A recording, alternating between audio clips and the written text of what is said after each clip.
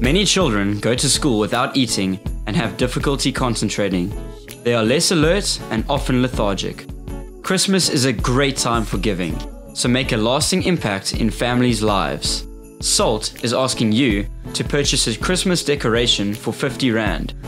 This will help provide a learner at a local primary school with a daily breakfast, as well as take home a monthly food parcel. Love God, love people.